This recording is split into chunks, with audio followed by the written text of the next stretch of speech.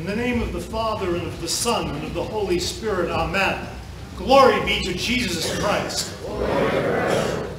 Brothers and sisters, last night at Vespers, as we began this great feast of the Feast of Palms, we sang several times the refrain.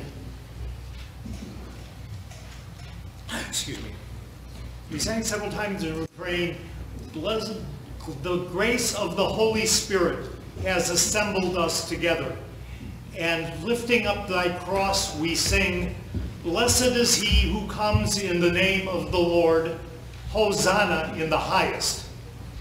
And we have finished the 40 days of Great Lent, and we long for a joyful feast. And this feast seems to be exactly what we're looking for.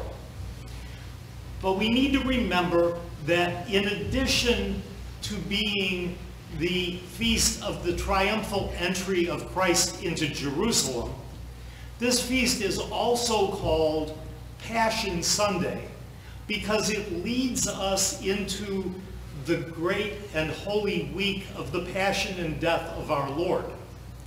And so we might wonder, how do things go from Hosanna in the highest to crucify him, crucify him, in a matter of just a few short days before the end of this week. What we have to remember is that the joyful people with the palms and we are not the only ones watching the events unfolding in Jerusalem. The scribes and the Pharisees are watching also, and they know their scriptures and they see what John the theologian tells us that what is unfolding is spoken of by Zechariah the prophet. Rejoice, O daughter of Zion, your king is coming to you with salvation, humbly riding on, the, on a donkey, the foal of a beast of burden.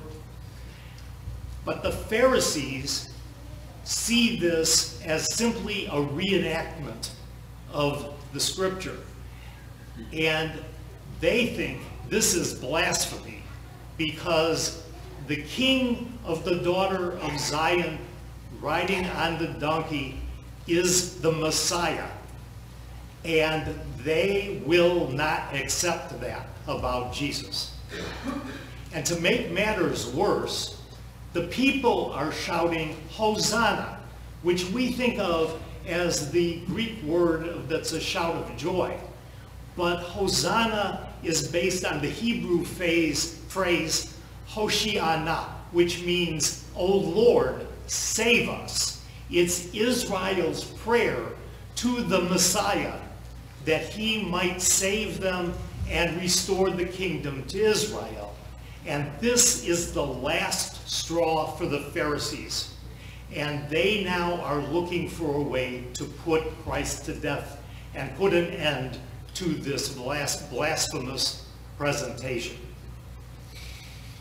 But they don't know what we know, that next week, this humble king, having endured everything that they throw at him this week, will rise from the dead and raise all the righteous with him. And he will indeed save his people, Israel. Brothers and sisters, let us never forget what he does for us this week.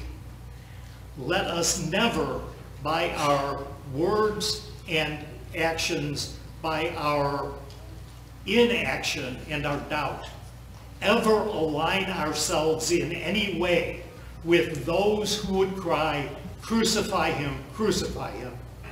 But let us always, with our loving thoughts and deeds, and with the, the strength of the faith in our hearts, always shout with great joy, Blessed is he who comes in the name of the Lord, Hosanna in the highest. Christ is in our midst. Hristos pozredi nás. Jest bude.